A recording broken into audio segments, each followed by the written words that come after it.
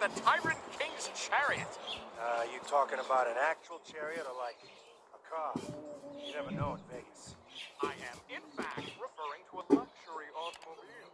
For Frank, being delivered today in the industrial district, which you're going to go see and deliver to an acquaintance of ours as a way of saying, Dear Mr. Veliano, the days of you having nice things will soon be over. Sincerely, fuck you. Any questions? Nope, just tell me where to go. Job,